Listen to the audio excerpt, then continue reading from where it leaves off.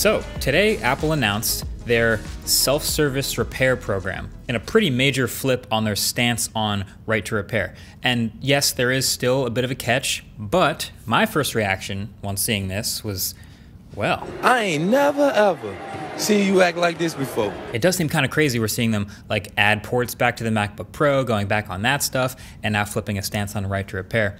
But my second reaction was, why? So I made a video a little while back this year all about right to repair that I highly suggest watching. Talks about the concept, a bunch of companies with various stances around the issue and why it's important. The concept of being able to repair the thing that you bought should be very simple, but in 2021, it's not. Now, Apple isn't the only company guilty of various bad practices like this, but they are one of the most influential consumer facing companies ever, right? So any step they make in favor of right to repair is a pretty major deal. So here's the announcement they've made, and I'll link it below.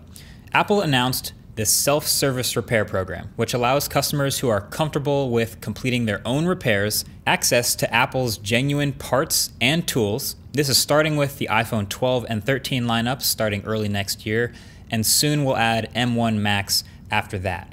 And the initial phase of this program will focus on the most commonly serviced modules such as iPhone's display, battery, and camera. So basically, independent certified repair shops have had access to some tools and parts for some very basic repairs to stuff like the iPhone.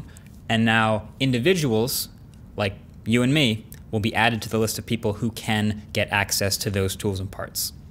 That's the pretty big deal. So let's say you drop your iPhone or something on the ground, the screen cracks.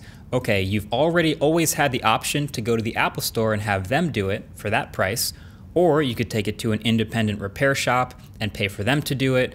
But now you have the extra option if you're a confident and competent enough person to get that manual, get those individual parts straight from Apple, and do the repair yourself. And then you can actually send back the old or broken parts to Apple so they can recycle them, and then you'll get a credit back on your account for some of that value. That's not bad. So I, on the surface, I think this is great. I think it's huge. The the potential e-waste being removed, the potential repairs that have been unlocked, the real choice that's being offered to us, and the potential ripples this sends throughout the industry are all great.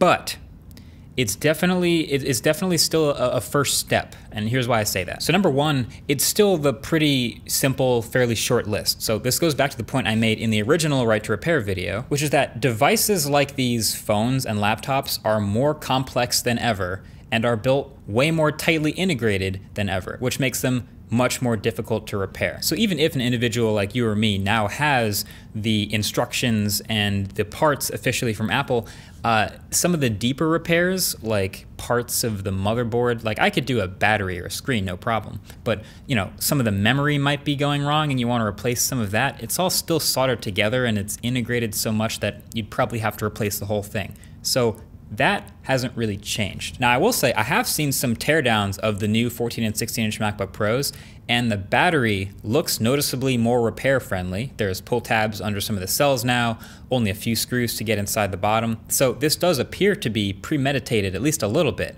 but I still don't see people like you and I taking parts of the motherboard off. But then number two, this is also something that a lot of independent repair shops and people like Louis Rossman have already aired their grievances about, which is that the list of those repairs that are being supported by Apple is still so short. It's like battery, screen, cameras.